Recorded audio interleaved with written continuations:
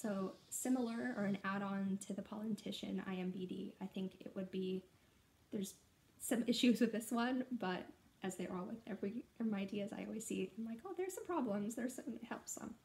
But having a way to engage people in politics beyond just the election cycle and beyond um, electing sociopaths that keep us in the, that keep themselves in the news cycle i would like to be able to um, like follow our politicians in a way that's fun and engaging and can talk to other people. So whether that's betting on maybe not with actual money but betting on um, the outcome to to laws and saying you know like this law will pass and giving the spread and doing okay well picking the um what is i don't again not big sports person but when people have fantasy football or fantasy hockey and you pick your own hockey team picking your own political team so picking 10 people and see, seeing if you can guess how they will how they will vote or finding out if they will vote with the public so the public gets to vote on it and the politician gets to vote. I mean I, there's like an infinite number of ways to to what's the word? I know there's a word gameize? That's not the right word.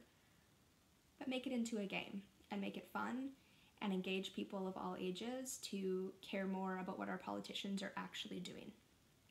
So that is apple number 50. 50% of the way there. This is amazing.